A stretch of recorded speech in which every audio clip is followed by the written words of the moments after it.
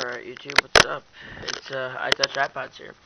And um gonna do a little review on um what is right now the uh, top downloaded paid game for the iPod Touch or iPhone from the App Store through iTunes and all that good stuff.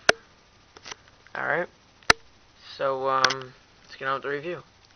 It's for Pocket Guitar um, the Pocket Guitar application. I have it in my dock so you can actually hear it because it's a uh, sound game thing.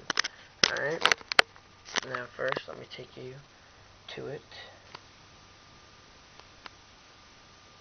Right there, Pocket Guitar. Number one downloaded game on the App Store. It's been like that for a couple, past couple days. Alright, it loads up, and here's your little Pocket Guitar right here. It works with headphones in, or if you have it in your speakers. Let's see if you guys can hear this.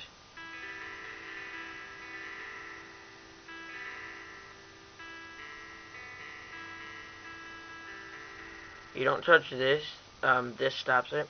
When you touch it here, I don't know if you can really see that, but it turns green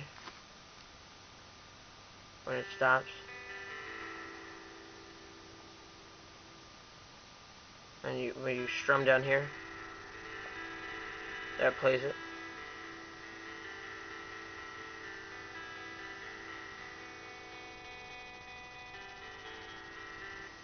Uh, settings up here, which you just slide to get to them.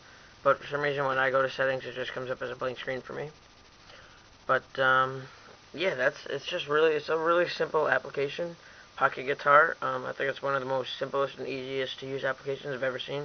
It's got actually really good sound to it. Um, it actually sounds exactly like a guitar because I have one and I know what it sounds like. So, I mean, I recommend getting this if you just like to fool around with it when you're bored with your headphones in.